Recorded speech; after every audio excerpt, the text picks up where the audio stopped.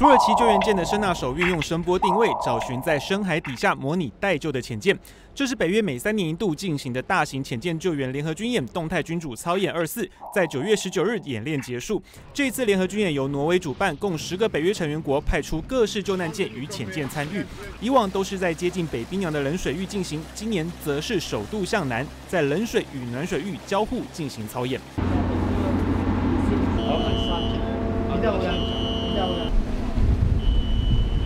除了在潜水区使用的救难潜水中，当潜舰在深海遭遇故障，无法使用高压空气进行紧急上浮时，这时深海救难舰 DSRV 就成了待救者唯一的生存希望。北约今年的多国联演也派出了瑞典的 URF 与北约潜艇救援系统 NSRS 进行水下九十公尺的对接，模拟潜舰的深海救援。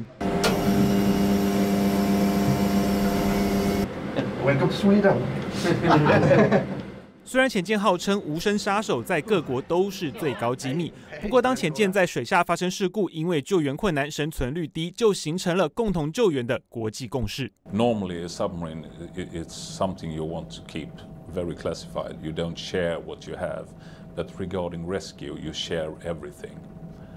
with everyone. That's a part of this cooperation. Time is our enemy. What we try to do is to minimize. uh, as possible the time to force intervention and the time to force rescue of the uh, members of the crew. Having uh, all the countries, all the community, the submarine escape and rescue community working together, um, cooperating together is, uh, is absolutely important. They can share knowledge, they can share expertise, they can share procedures, standardize all the procedures in order to start a rescue phase everywhere around the world. 北约进行十国的联合海上潜舰搜救军演，背后的协调单位是在库斯科号事件后，二零零三年所成立的国际潜舰逃生及救援联络处。目的是在非战时情况，当有任何一国潜舰遭遇事故，可以经过国际协调调派救援舰艇进行救援。目前共有十五个具备深海搜救的国家组织加入，除了美俄两强，亚洲则有日韩、新加坡以及中共加入。至于台湾的潜舰搜救能量，目前仅止于潜水中的应用。对于深海的搜救能量，赶得上海军潜舰的建军速度吗？潜舰救难能量对我们来讲，特别是能够自己掌控的潜舰救难能量，确实是有必要的。那通常建案两年之内能完成，算相当的顺利。所以它最快也许要到一百一十九年才开始执行。那这个建造过程，那真正如果一切顺利的话，真正取得开始成军，也许都要到一百二十四年，甚至一百二十五年可是换句话说，当它真正一百一十九年开始建的时候，说不定我们第一批的两艘量产的潜舰已经出来了。所以到时候海狮海豹太除，我们还是有五艘潜舰，五艘潜舰里面有三艘是海坤的构型。那我我是觉得我们必须很持平的说，我们必须假设它的可能还是有一些潜藏的风险。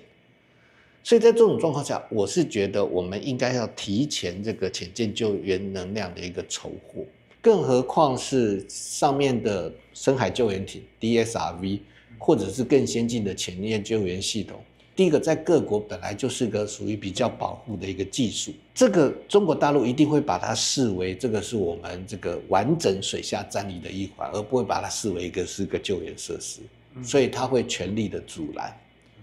所以在这种状况下，如果我们一百一十六年才建案，一百一十九甚至一百二十才开始执行，那只要中间这个关键的 DSRV 或者前进救援系统在取得上出现困难的话，整个计划还会再往后延。目前我们是有跟美国海军从一九八八年以来就有签一个潜舰救难支援的协议，那就是所谓的瑞屯计划。但是这边总是会担心的是说，万一当有状况发生的时候，美方刚好没有备变的资源系统，怎么办？深圳有是不是有办法按照我们所想象那样，它三十六小时就到？随着国造潜舰的进度持续进行，目前预算编列到一百二十七年，总共计划筹获八艘国造潜舰。相对潜舰建造，经过政府强力支持，救难能量的建构则是相对放缓。面对无法预测的大海，救难舰的计划若未衔接水下兵力的成长，救援跟不上作战，恐怕影响的就是战力的发扬。